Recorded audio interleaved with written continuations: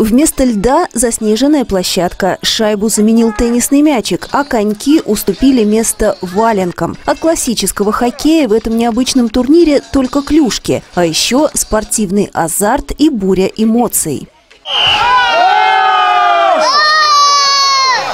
Городской рождественский турнир по хоккею в валенках в Заречном состоялся уже в восьмой раз. И год от года эти более чем демократичные соревнования привлекают все больше участников и болельщиков.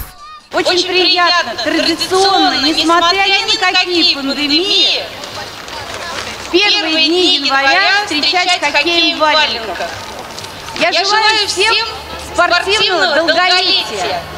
А сегодня пусть победит сильнейший.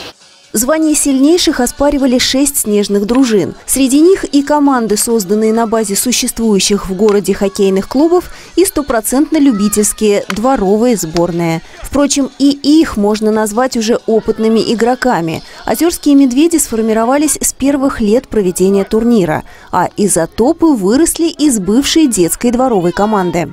Мы раньше играли, мы раньше назывались как бы «Квадрат», потому что мы, у нас двор был «Квадрат». А сейчас вот нас Андрей это организовал, он, у него была команда «Изотоп», и он нас позвал, говорит, пойдете играть. Мы говорим, ну, с удовольствием. В детстве все играли. В нашем детстве еще во дворах играли в хоккей. Также вот в валенках, каникулы, после уроков всегда проводили в хоккее. И теперь их, уже давно ставших взрослыми, ведет на спортплощадку не только любовь к активному отдыху, но и ностальгия желание вспомнить детство, как мы гоняли во дворах э, в хоккей, оздоровиться, подышать свежим воздухом. Тем более сегодня такая отличная погода. Я думаю, что все с удовольствием проводят сегодня время на спортивной площадке.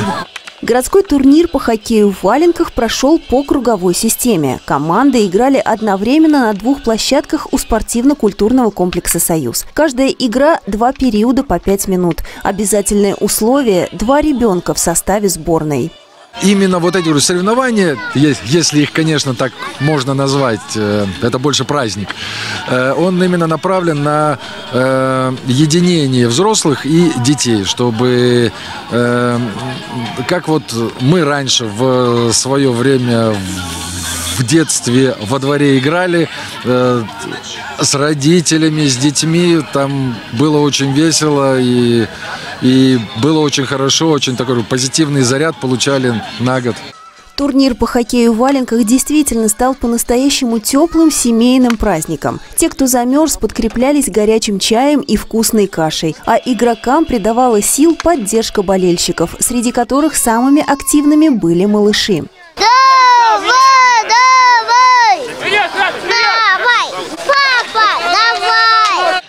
итоге жарких спортивных баталий бронзовую награду завоевали озерские медведи. Серебро у команды «Спортзона», а победу одержала сборная «Бобры», не потерпевшая ни одного поражения.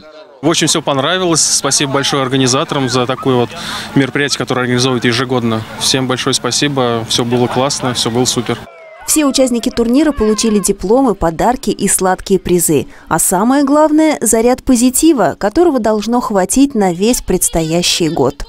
Светлана Теплухина, Владимир Полищук, телерадиокомпания «Заречный».